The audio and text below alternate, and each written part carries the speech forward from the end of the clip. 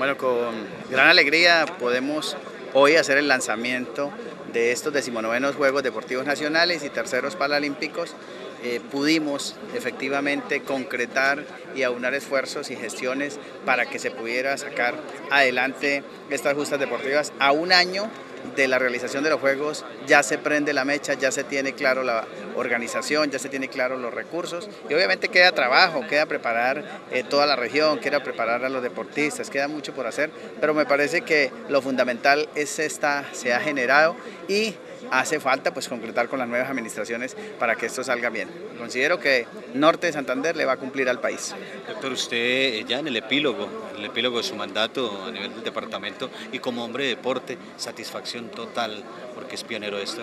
Sí, la verdad que eh, eran 82 años buscando la sede de Juegos Nacionales, eh, logramos hacer la gestión y finalmente se ha logrado. Dejamos entonces las bases para que Norte de Santander se convierta en un polo de desarrollo deportivo y en ese sentido nuestros atletas, en ese sentido nuestros deportistas, en ese sentido nuestros escenarios, la gente, la región va a tener eh, unas eh, grandes inversiones, un reconocimiento y todo el espacio para salir adelante.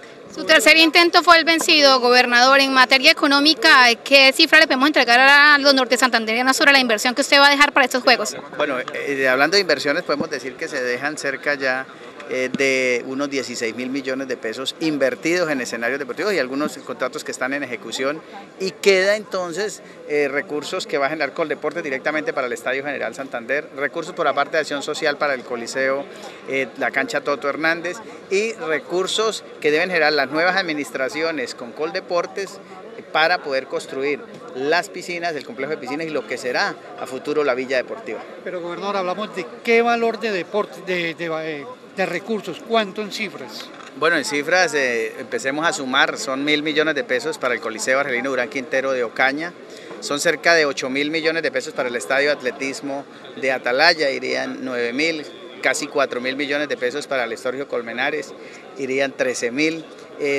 300 eh, millones de pesos que se han invertido en este momento en las pistas de patinaje en la superficie, otros recursos como 300 millones de pesos para el Estadio Gran Colombiano, 1.200 millones de pesos para el Estadio La Sabana, que todo esto se está ejecutando. Recursos también para algunos eh, otros escenarios que no lo está haciendo directamente la gobernación, pero que lo está haciendo las universidades porque están preparando sus escenarios. Yo pienso que la cifra que he dado de cerca de 16 mil millones de pesos es lo que se ha invertido hasta el momento. ¿Qué falta?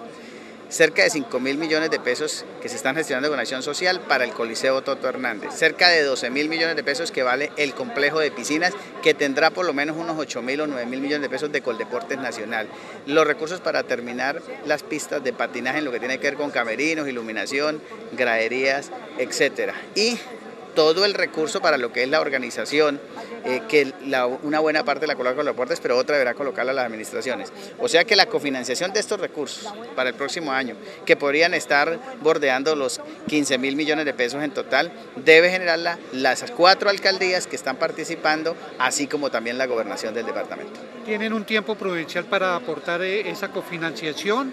Sí, claro, estos convenios se deben firmar en el mes de enero para que haya el tiempo para hacer las contrataciones y para desarrollar las obras y que estén listos para el mes de noviembre cuando se desarrollan los juegos. ¿En Villa Rosario solamente se habla de iluminación del estadio o hay otra actividad pendiente? Eh, tenemos ya contratada la iluminación. Hay unos mejoramientos en las graderías, etcétera, que se deberán generar con el nuevo alcalde de Rosario, con Coldeportes y con el nuevo gobernador.